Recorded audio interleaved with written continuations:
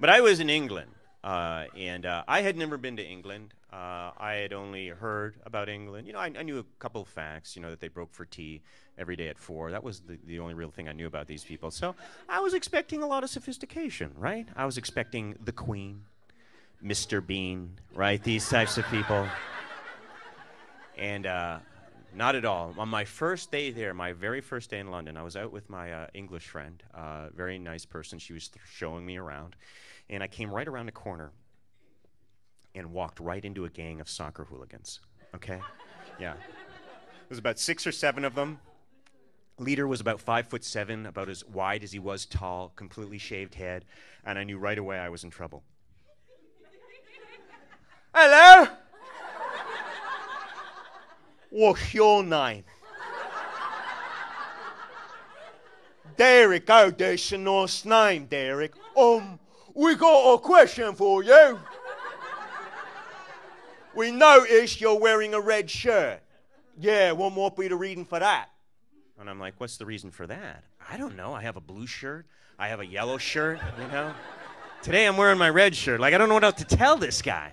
But I didn't know I was wearing the colors for Manchester United.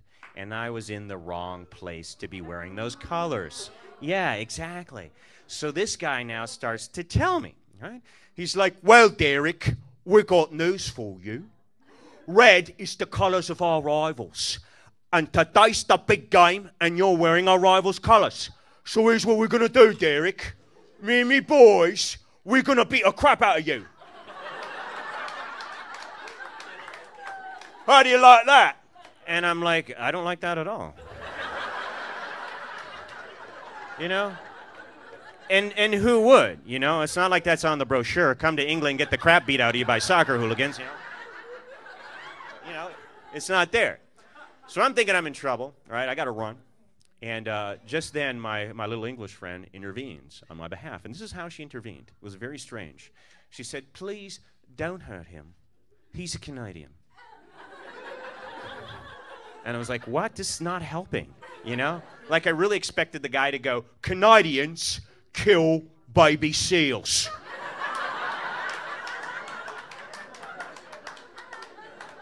and now he's to kill him. But much to my surprise, and I still don't understand this today, they completely lost interest in me and they just moved on. I was like, what the hell? What are we, like an endangered species or something? Like, you know? But that's just the way it is. Just no, I guess they like Canadians. And uh, I was like, okay, so I tried to use this on the ladies, you know, and uh, didn't work though. Uh, they beat the crap out of me. And uh, they're very tough over there.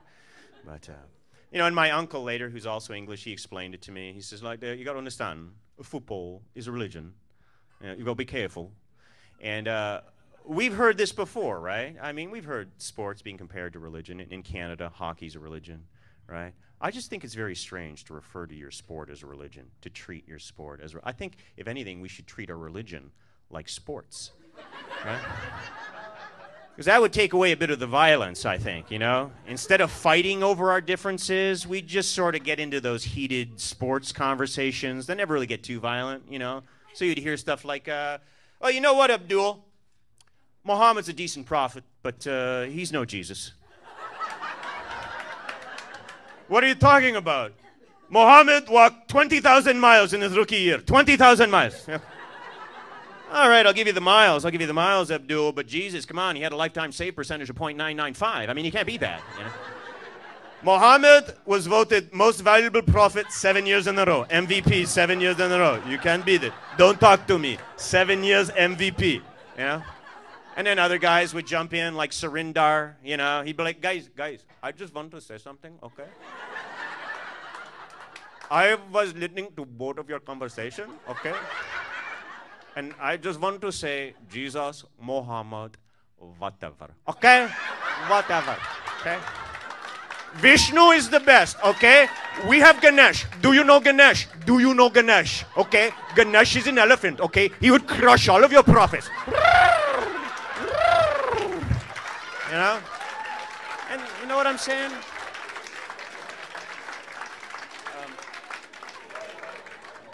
It's just a little less violent, is all I'm saying.